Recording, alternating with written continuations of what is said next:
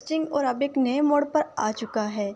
अब शानी के घर वाले भी यही चाहते हैं कि शानी सजीला को छोड़कर शानजे से शादी कर ले, क्योंकि वो जानते हैं कि सजीला कभी भी शानी को इज़्ज़त नहीं देगी, बल्कि सारी उम्र अपने नखरे ही उठवाती रहेगी, जबकि शानजे शानी से सच्ची मोहब्बत करती है। अब शानी भी को भी बहुत जल्द एहसास हो जाएगा।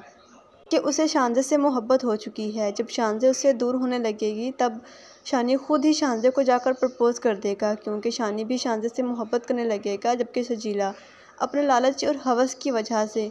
ना तो शानी को हासिल कर पाएगी और ना ही उसके हाथ पैसा लगेगा।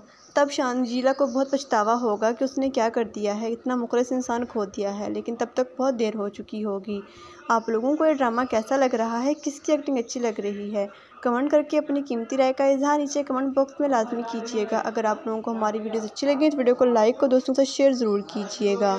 अगर आप लोग चैनल पर नए हैं तो चैनल को सब्सक्राइब कर लें ताकि हर नई आने वाली वीडियो का नोटिफिकेशन आपकी स्क्रीन पर सबसे पहले नज़र आता रहे।